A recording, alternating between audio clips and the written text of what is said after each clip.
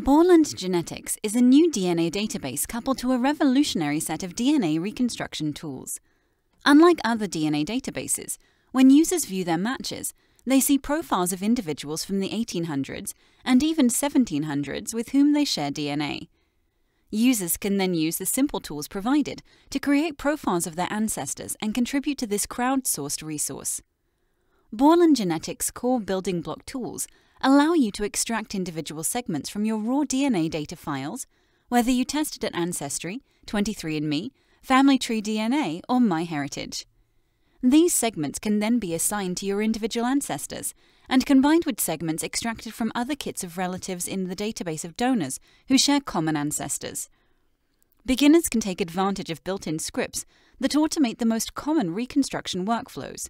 Missing parent tool for genome level phasing, Phoenix and DarkSide tools for segment level phasing, and the Reverse Phase tool, which allows users for the first time to use the DNA of a parent and child to reconstruct the child's grandparents using a technique called block level phasing.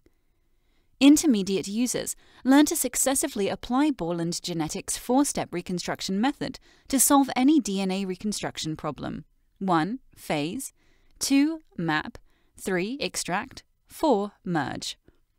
Advanced users assist other members of the Borland genetics community by administering private reconstruction projects and designing complex workflows to accomplish high resolution reconstructions of ancestors from the more distant past.